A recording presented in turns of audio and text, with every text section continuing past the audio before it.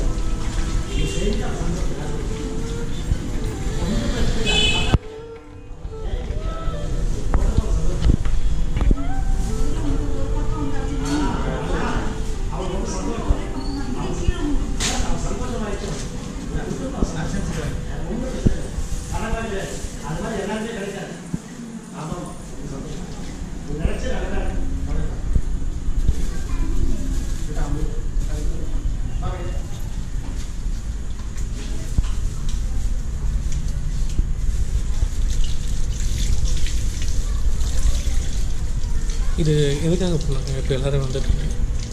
இது முடிஞ்சிட்டு வந்தோடனே அபிஷேகம் பண்ணுவாங்க இது எதுக்கான பரிகாரம்? இது வந்து வெளிநாட்டுக்கு வேலைக்கு ட்ரை பண்ணிட்டு இருக்கோம். தடங்கள் ஆகிட்டு வெளிநாடு போகிறதுக்கு அனைத்து வித தோஷமும் நிவர்த்தியாகும் நிவர்த்தியாகும்.